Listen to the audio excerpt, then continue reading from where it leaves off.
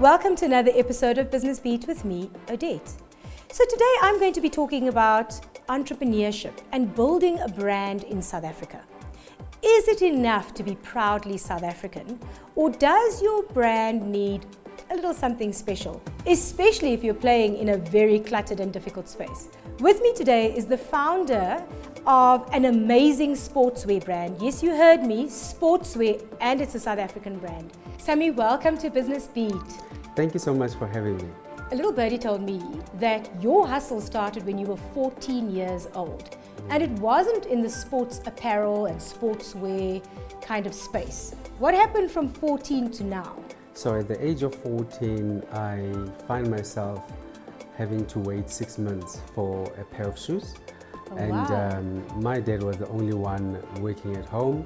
Uh, four kids, and my mom was not working either. Yeah. So if you have to wait for anything that they need at school, you're gonna wait for a very long time. Right. So then I found a need to start my own business. At the time, I was not even thinking it's a business.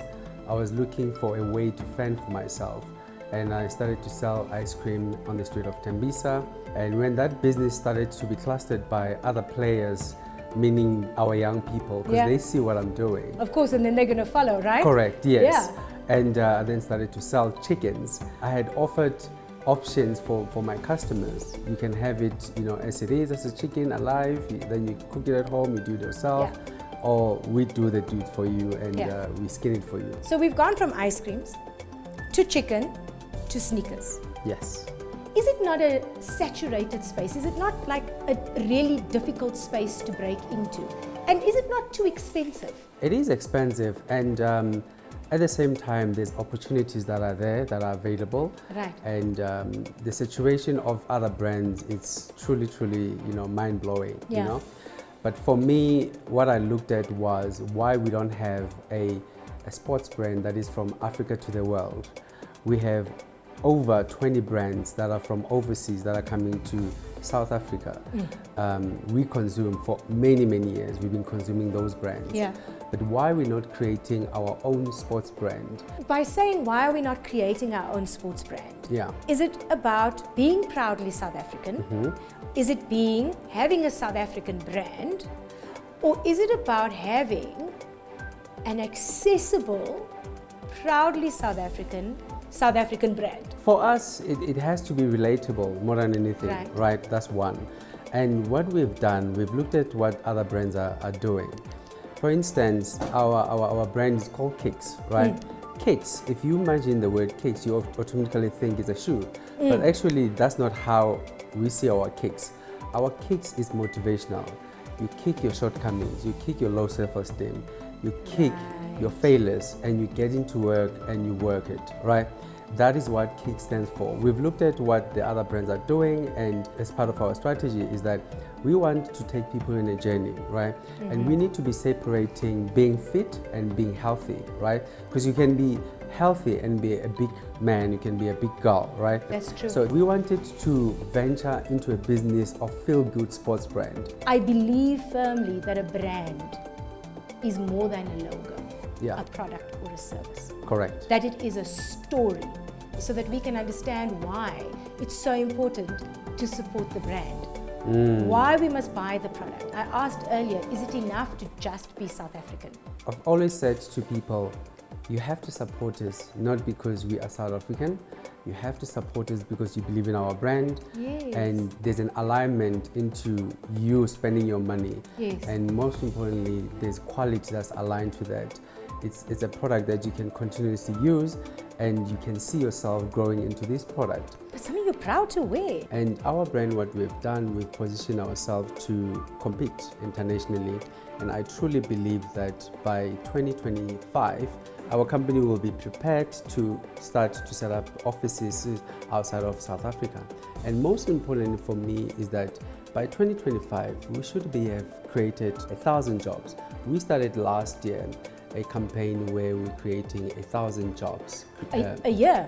not a year, Oh, but a over thousand- a period. over a period, So it's a thousand jobs, job creation, and part of that is that the jobs not necessarily need to come from our company, but we have to be collective in creating these jobs. Oh, a thousand jobs, that's quite a lot. And what I do, mm. I invite 10, pe- 10 young people every year to come in and do an apprenticeship. The whole point of an apprenticeship is for them to learn as much as possible, but they have to also create their own company within our space, right? So we're providing that safe net for them to make the mistakes that we did, right? To learn at the same time.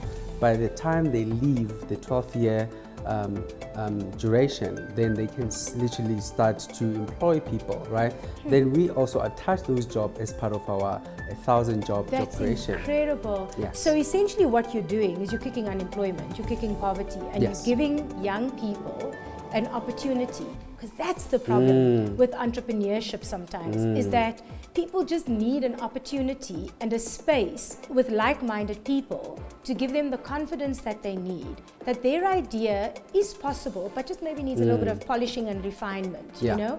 And then what you're essentially doing is you're creating employers Yeah. in the value chain. So everyone who comes in leaves not just with skills, leaves with the Mm-hmm. business and the ability to employ others to pay it Correct. forward. Wow. And that is that is the end goal for me.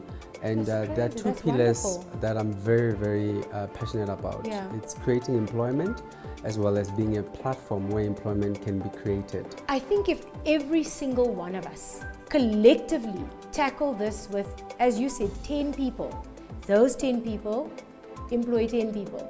Mm. Those 10 people employ 10 more people. You know, before you know it, it becomes thousands and thousands of people. Mm. And slowly we start chipping away at this unemployment rate. True. And we become tax paying citizens to help the government. It, it's like an ecosystem Yeah. you know and then all of a sudden the economy starts coming right and all of a sudden we start seeing poverty eradicated Yeah. we start seeing less hungry kids Correct. Hmm. We, we have to make it very fashionable yes to create jobs. yeah Uh, we opened our first pop-up store in uh, Alberton City yeah where we've created jobs, Yeah. right? And it does not end there. We have to look at what COVID brought for us, Mm-hmm. right? And part of what we said we want to do is to control our value chain. Mm-hmm. If we control at least 60% of our value chain, we make sure that we employ as many people as possible. so if i interpret what you're saying is absolutely being south african is not enough Yeah, but what you're offering is buy south african for the south africans Mm, to build a better south africa that's it, yes. So, speaking about buying, Yeah. where do we buy kicks? How do Wow. we get our hands on a pair of kicks? So we do have a store Yeah. um, in Alberton City that Right. sells our product. We also developing our website, which is www.kicksports.co.za. Um, you can buy from our website. Then we. Okay. deliver anywhere in South Africa. I think your story is amazing. I think your brand is fantastic.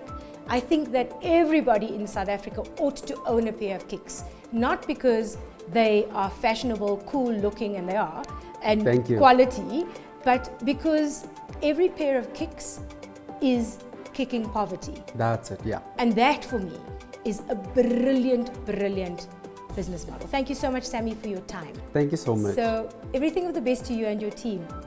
There you have it, folks. It's not enough to be South African selling a South African product. You need to have a story that resonates with the people whom you want to sell to. That way, they buy into your story, they buy into the product, and they wear it proudly South African. Until next time.